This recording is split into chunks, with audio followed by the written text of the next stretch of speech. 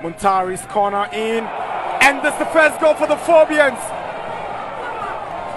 Sulley Ali Muntari provides the assist, and it's Isaac Mensah connecting to Sulley Muntari's corner.